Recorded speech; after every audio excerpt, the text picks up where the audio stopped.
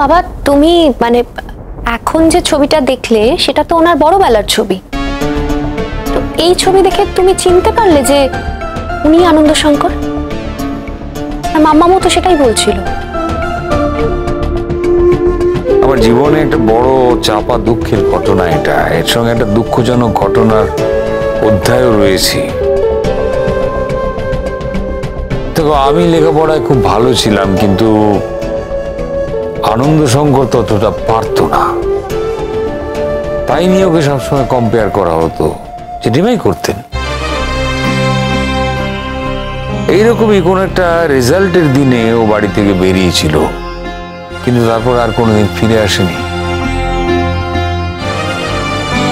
ওর ভয় ছিল ও পাশ করতে পারবে না।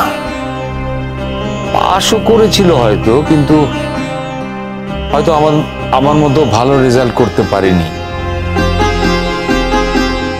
এমন হতে পারে যে আমার সামনে প্রত্যেক মুহূর্তে নিজের বাড়িতেই ওকে অপমানিত হতে হতো সবসময় তুলনা করা হতো। এই যন্ত্রণাটা ও আর নিতে পারছিল না।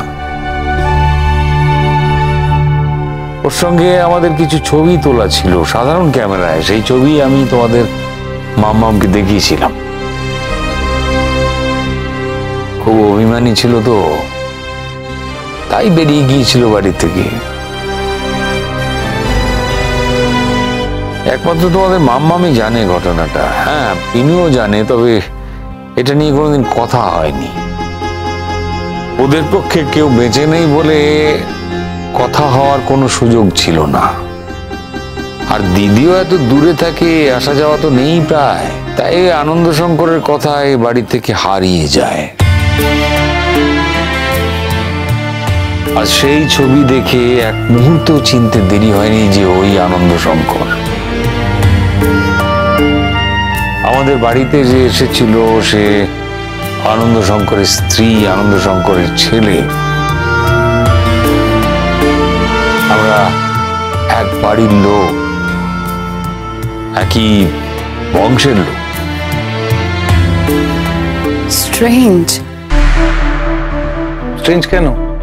মানে তোমার স্ট্রেঞ্জ কেন মনে হচ্ছে হঠাৎ? এরকম ঘটনা তো ঘটে ঘটে না নাকি? না মানে তাই বললাম।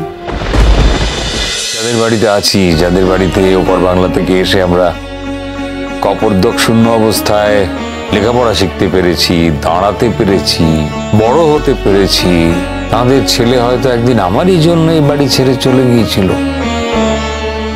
এই কষ্টটা আমি সারা জীবন বয়ে বেরিয়েছি। আজ হয়তো এই কষ্টটা থেকে মুক্তি পাওয়ার একটা উপায় বেরিয়েছে। কীরকম জেঠুমনি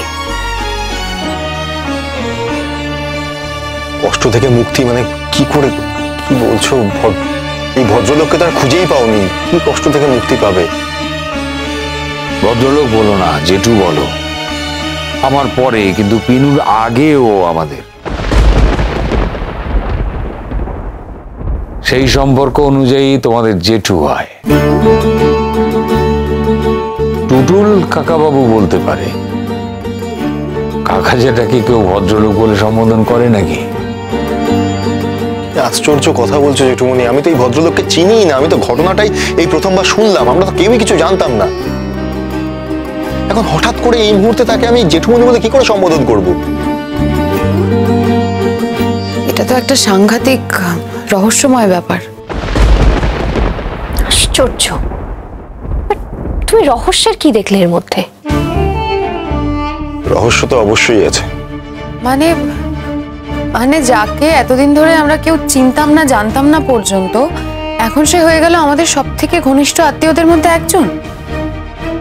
স্ট্রেঞ্জ কি অদ্ভুত না? মানে এটা তো সিনেমার গল্পকেও হার মানাবে। একটা কথা জানো তো? Truth is stranger than fiction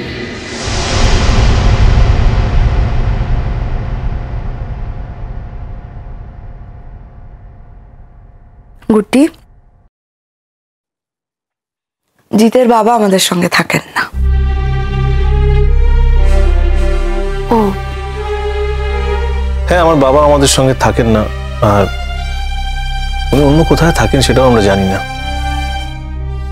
আমার বাবাকে ভালো করে মনেও নেই। ছোটবেলার ঘটনা তো।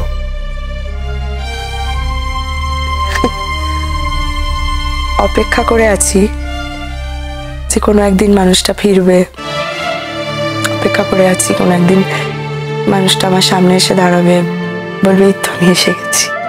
সেটা ভেবে রোজ সিঁদুর পড়ি আর ভাবি, এই তো আজকেই সেই দিন। কিন্তু আপনার অপেক্ষা বৃথা যাবে না। নিজেকে এই সান্ত্বনায় দিয়ে এসেছি আমি গুটি এতদিন। নিজেকে এই সান্ত্বনা দিয়ে দিয়েই শক্ত রেখেছি। এই বাড়িটাকে সামলেছি, আমার ছেলেকে বড় করেছি, একা হাতে। সিঙ্গেল মাদারদের মতো চাকরি করেছি, বাচ্চা মানুষ করেছি। এই করতে করতে কবে যে জীবনটা বয়ে গেছে আমি বুঝতেই পারিনি, জানো? এখন আমার একটাই ইচ্ছে ওই জন্য। আমার ছেলেটা যাতে থিতু হয়ে যায়। তুমি আর জিৎ একসঙ্গে বাকি জীবনটা সুখে কাটাও, বাস। আমার আর আর কিচ্ছু চাই না জীবনে। তোমাদের সুখে থাকতে দেখলেই আমার শান্তি। তারপর আবার আমার অপেক্ষা।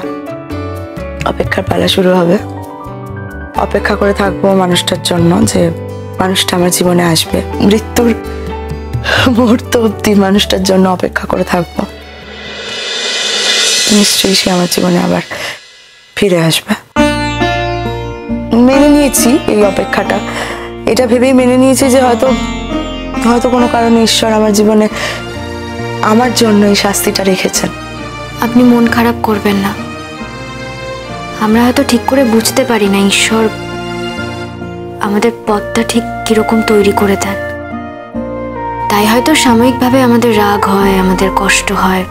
আবার এক এক সময় মনে হয়, যা হয়েছে সবকিছু ভালোর জন্যই হয়েছে। এ কথাও ঠিক, ঈশ্বর। চিরদুঃখী কাউকে রাখেন না। একদিন আপনারও দুঃখের অবসান ঘটবে। আঙ্কেল ফিরে আসবেন একদিন। দেখবেন আপনি। জানি না। কিন্তু আমার ছেলেটাও এই কষ্ট নিয়েই বড় হয়েছে, কুট্টি। ছোটবেলায় যখন স্কুলে যেত, ওর সব বন্ধুদের বাবা ছিল, শুধু ওর বাবা নেই। ওর বাবার অভিমানটা কি ছিল জানো তো? ওর বাবা নাকি একটা সাজানো সংসার ছিল। বাড়ি থেকে রাগ করে বেরিয়ে ট্রেনিং নিয়ে চাকরি জয়েন করে। আমরা তখন, আমরা বাড়ির সবাই মিলে ওখানে বেড়াতে গিয়েছিলাম। ওর বাবার গাড়িতে আমার অ্যাক্সিডেন্ট হয়। ওর বাবা তখন রাজস্থানে পোস্টিং ছিল। অবশ্য ওর বাবার কোনো দোষ ছিল না। আমি হঠাৎ করে গাড়ির সামনে চলে এসেছিলাম। ব্যাস, ওখান থেকে আলাপ তারপর বিয়ে। আমার বাবা বারবার করে জিতের বাবাকে জিজ্ঞেস করেছিল যে, তোমার বাড়িতে কে কে আছেন? বাবা, মা, আত্মীয়, স্বজন? খালি বলছে, আমার কেউ নেই, আমি একা। আমার কেউ নেই। আপনি যদি সবকিছু জেনে, আমি একা জেনেও আপনার মেয়েকে আমার হাতে তুলে দিতে পারেন, তাহলে বিয়ে হবে না, তো দেবেন না, বিয়ে হবে না। আর শুধু তাই নয়, আবার বলছে যে, আমি কিন্তু লোক ভাড়া করে আত্মীয় স্বজন দেখাতে হবে বলে তাদেরকে আত্মীয় স্বজন বাড়াতে পারব না। যদি কেউ আত্মীয় স্বজন থেকেও থাকে, তাদের সঙ্গে আমার কোনো যোগাযোগ নেই। খুব অভিমান ছিল মনের মধ্যে। খুব। কিন্তু দুঃখের বিষয় হলো সেই অভিমান, সেই কষ্ট, সেই খারাপ লাগা আমি কোনোদিন জানতেই পারলাম না। জানার সুযোগ পেলাম না, সময় পেলাম না। মাঝখান থেকে আমার ছেলেটা এত কষ্ট করে বড় হলো। একা, কেউ নেই।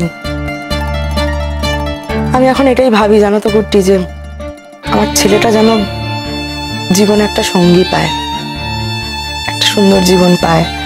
আমার ছেলেটার যেন বিয়ে হয়। সন্তান হয়। এটাই আমার এখন একমাত্র চিন্তা। Good D. সোম থেকে রবি প্রতিদিন বিকেল সাড়ে পাঁচটায় স্টার জলসায় ও ডিজনি প্লাস হটস্টারে।